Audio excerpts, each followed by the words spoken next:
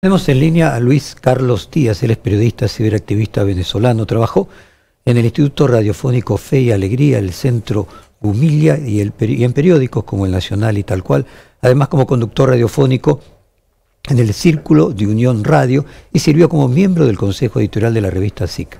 En el año 2019 fue detenido por agentes del Servicio Bolivariano de Inteligencia Nacional, la SEBIN, y durante los apagones a nivel nacional de ese año siendo declarado por Amnistía Internacional como un preso de conciencia. Las elecciones en Venezuela mantuvieron en vilo a todo el mundo y el resultado marcará el inicio de una nueva era en toda América Latina, así que para musicalizar la entrevista con Luis Carlos Díaz lo vamos a recibir escuchando Mis ilusiones de San Luis de Voz Bass y Apache.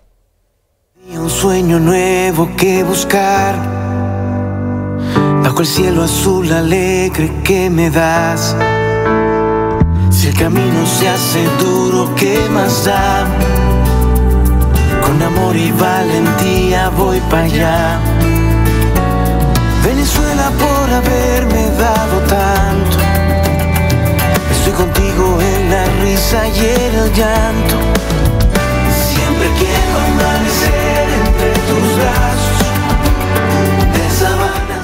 muy buenos días, Luis Carlos Díaz, Jorge Fontevique los saludo, encantado hablar con usted. Primero, ¿qué balance hace de lo que está pasando en este momento en su país?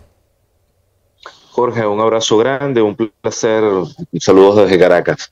Venezuela amanece con una mezcla de, de estados anímicos muy grave, porque lo que ocurrió ayer ha generado muchísima frustración, muchísima rabia y dolor en gente bueno, que, que, tenía otra expectativa. Antes de esta entrevista estaban hablando de fútbol y si puedo explicar Venezuela en esos términos, porque en Argentina es popular, podemos decir que aquí todas las mediciones decían que se iba a ganar el partido. A lo largo del día la gente marcó todos los goles necesarios y de hecho todas las proyecciones que tiene la gente y que tienen las actas en la calle hablan de una diferencia de más de 30 puntos de, distancia entre el candidato opositor y Maduro. Se le ha ganado a Maduro en todos los estados, pero a la hora de leer los resultados en la noche, el Consejo Nacional Electoral decidió leer otra cosa, se inventaron otros números y dijeron que, bueno, todos esos goles que se habían marcado no contaban, sino que dieron como ganador a Maduro. Ahora, eso no es una decisión exactamente final,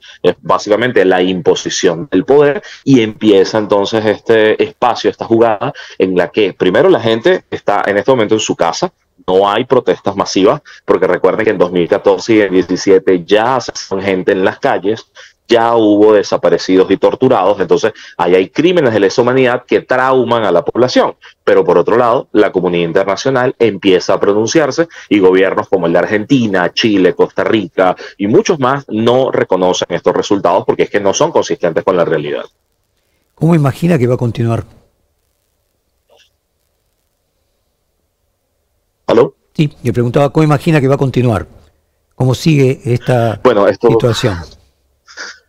Eh, primero, hay que, hay que pensar en el resguardo físico de, de, los líderes opositores, es decir, evitar que sean detenidos o exiliados o asesinados, este, cosa que en Venezuela, pues, cualquier escenario puede ocurrir. Luego, la preservación tanto de ONGs, que han sido muy activas, porque es lo que queda de sociedad civil en Venezuela, como medios de comunicación, que ayer, por ejemplo, tuvimos que salvar a dos periodistas que estaban secuestradas en centros electorales por grupos armados, y luego pensar cuáles son los mecanismos de resistencia de la gente. Digo, de cara a qué pasa en las calles. ¿okay? Hay, mucho temor, la gente tiene miedo de cómo pueda responder el chavismo, pero por otro lado el chavismo también tiene que responderle internamente a su gente, haber dado resultados de mentira cuando antes el chavismo se basaba en su popularidad y en ganar elecciones, cuando el petróleo estaba en 150 dólares, pues bueno, en este momento esa narrativa se acaba y lo que le están pidiendo a su propia gente es que sean cómplices de un fraude masivo. Eso, eso soportará cuántas personas lo, apoyarán. Y luego viene toda la respuesta internacional porque la presión sobre Venezuela aumenta. Recuerden además que Venezuela no es un país aislado, sino que sigue expulsando migrantes. Hay más de 8 millones de venezolanos en el exterior y las mediciones en encuestas decían que 20% del país se iría si Maduro se robaba estas elecciones. Y 20% son millones de personas que saldrían hasta caminando. Entonces, claro que para ese tipo de escenarios también hay que, prepararse, pero bueno, que ocurrió anoche no es definitivo, sino que abre otro campo de juego, a ver si, si por otros métodos más de resistencia o de presión, el chavismo cambia esta actitud que, ha tenido.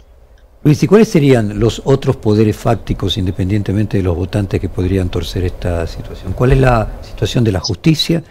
¿Cuál es eh, la situación de las Fuerzas Armadas? ¿Qué otros poderes podrían llegar a modificar esta decisión del chavismo?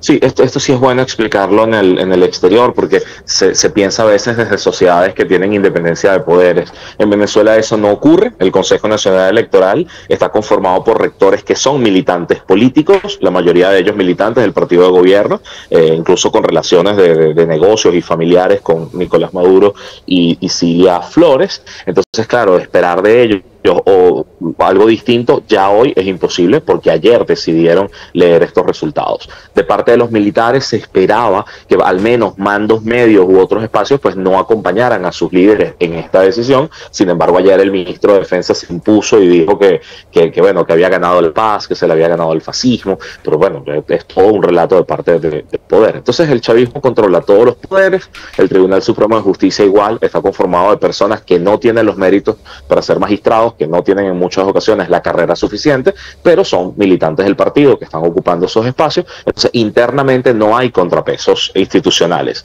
Los contrapesos vienen de la gente en las calles y decidieron participar en estas elecciones con todo en contra porque ocurrieron los acuerdos de Barbados, que fueron unos acuerdos internacionales con la mediación de Noruega, en el que se buscaba llegar a este camino pacífico. Entonces, por eso es que los venezolanos participaron, no, no por ingenuos, no porque no, no hayan probado antes todo lo que se podía. Entonces, este, este, esta trampa, ¿no? Este, esto que acaba de ocurrir, tiene que derivar en nuevos escenarios porque que el chavismo se imponga genera un costo altísimo, tanto para la población como para ellos mismos. Luis Carlos Díaz, muchísimas gracias por su tiempo para con nosotros. Le mandamos un saludo fraterno de la Argentina. Muchas gracias.